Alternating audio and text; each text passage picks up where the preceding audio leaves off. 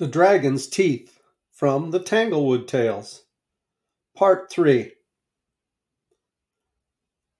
But often and often at the close of a weary day's journey did Telephassa and Cadmus, Cilix and Thasus remember the pleasant spot in which they had left Phoenix.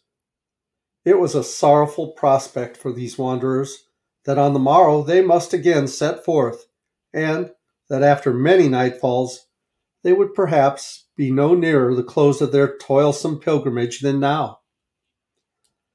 These thoughts made them all melancholy at times, but appeared to torment Cilix more than the rest of the party. At length, one morning, when they were taking their staves in hand to set out, he thus addressed them My dear mother, and you, good brother Cadmus, and my friend Thasus, methinks we are like people in a dream. There is no substance in the life which we are leading. It is such a dreary length of time since the white bull carried off my sister Europa that I have quite forgotten how she looked and the tones of her voice, and indeed almost doubt whether such a little girl ever lived in the world. And whether she once lived or no, I am convinced that she no longer survives, and that therefore it is the merest folly to waste our own lives and happiness in seeking her. Were we to find her, she would now be a woman grown and would look upon us all as strangers. So, to tell you the truth, I have resolved to take up my abode here, and I entreat you, mother, brother, and friend, to follow my example. Not I, for one, said Telephassa, although the poor queen, firmly as she spoke, was so travel worn that she could hardly put her foot to the ground. Not I, for one. In the depths of my heart, little Europa is still the rosy child who ran to gather flowers so many years ago. She has not grown to womanhood, nor forgotten me. At noon, at night, journeying onward, sitting down to rest, her childish voice is always in my ears, calling, Mother, Mother! Stop here who may, there is no repose for me. Nor for me, said Cadmus, while my dear mother pleases to go onward. And the faithful Thasus, too, was resolved to bear them company.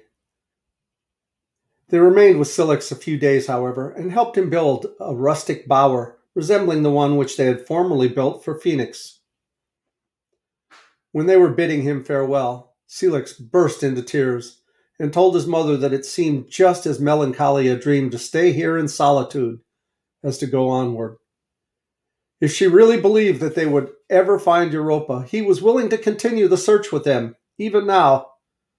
But Telephassa bade him remain there and be happy if his own heart would let him.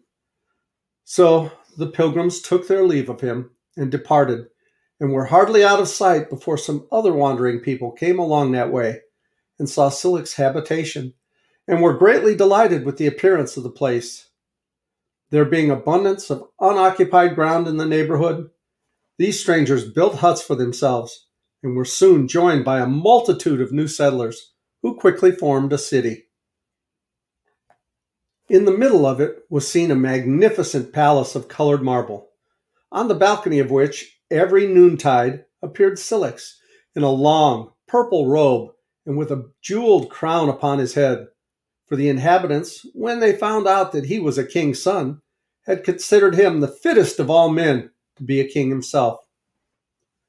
One of the first acts of King Cilix's government was to send out an expedition consisting of a grave ambassador and an escort of bold, hardy young men, with orders to visit the principal kingdoms of the earth and inquire whether a young maiden had passed through those regions galloping swiftly on a white bull. It is therefore plain to my mind that Cilix secretly blamed himself for giving up the search for Europa, as long as he was able to put one foot before the other. As for Telephassa and Cadmus and the good Thasus, it grieved me to think of them still keeping up that weary pilgrimage. The two young men did the best for the poor queen, helping her over the rough places, often carrying her across rivulets in their faithful arms, and seeking to shelter her at nightfall, even when they themselves lay on the ground. Sad, sad it is to hear them asking of every passerby if he had seen Europa so long after the white bull had carried her away. But though the gray years thrust themselves in between and made the child's figure dim in their remembrance, neither of these true hearted three ever dreamed of giving up the search. One morning, however, poor Thasus found that he had sprained his ankle and could not possibly go a step farther. After a few days, to be sure, said he mournfully, I might make a shift to hobble along with a stick, but that would only delay you and perhaps hinder you from finding dear little Europa after all your pains and troubles. Do you go forward, therefore, my beloved companions, and leave me to follow as I may. Thou hast been a true friend, dear Thasus, said Queen Telephassa, kissing his forehead. Being neither my son nor the brother of our lost Europa, thou hast shown thyself truer to me and her than Phoenix and Cilix did, whom we have left behind us.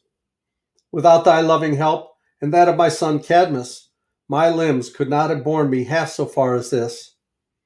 Now take thy rest and be at peace, for, and it is the first time I have owned it to myself, I begin to question whether we shall ever find my beloved daughter in this world.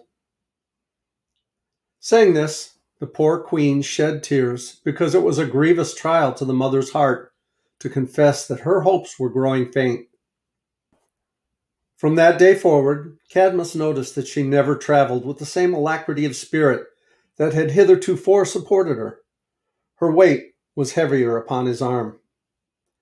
Before setting out, Cadmus helped Thasus build a bower, while Telephassa, being too infirm to give any great assistance, advised him how to fit it up and furnish it so that it might be as comfortable as a hut of branches could be. Thasus, however, did not spend all his days in this green bower, for it happened to him, as to Phoenix and Cilix, that other homeless people visited the spot and liked it, and built themselves habitations in the neighborhood. So here, in the course of a few years, was another thriving city with a red freestone palace in the center of it, where Thasus sat upon a throne, doing justice to the people, with a purple robe over his shoulders, a scepter in his hand, and a crown upon his head. The inhabitants had made him king, not for the sake of any royal blood, for none was in his veins, but because Thasus was an upright, true hearted, and courageous man, and therefore fit to rule. But when the affairs of his kingdom were all settled, King Thasus laid aside his purple robe and crown and scepter, and bade his worthiest subjects distribute justice to the people in his stead. Then, grasping the pilgrim staff that had supported him so long, he set forth again, hoping still to discover some hoof mark of the snow white bull, some trace of the vanished child. He returned after a lengthened absence and sat down wearily upon his throne. To his latest hour, nevertheless, King Thasus showed his true hearted remembrance of Europa by ordering that a fire should always be kept burning in his palace, and a bath steaming hot, and food ready to be served up, and a bed with snow white sheets in case the maiden should arrive and require immediate refreshment. And though Europa never came, the good Thasus had the blessings of many a poor traveler who profited from the food and lodging which were meant for little playmate of the king's boyhood. Telephassa and Cadmus were now pursuing their weary way with no companion but each other. The queen leaned heavily upon her son's arm and could walk only a few miles a day. But for all her weakness and weariness, she would not be persuaded to give up the search. It was enough to bring tears into the eyes of bearded men to hear the melancholy tone with which she inquired of every stranger whether he could tell her any news of the lost child. Have you seen a little girl? No, no. I mean a young maiden, a full grown, passing by this way, mounted on a snow white bull, which gallops as swiftly as the wind. We have seen no such wondrous sight, the people would reply, and very often, taking Cadmus aside, they whispered to him, Is this stately and sad looking woman your mother? Surely she is not in her right mind, and you ought to take her home and make her comfortable and do your best to get this dream out of her fancy. It is no dream, said Cadmus. Everything else is a dream, save that.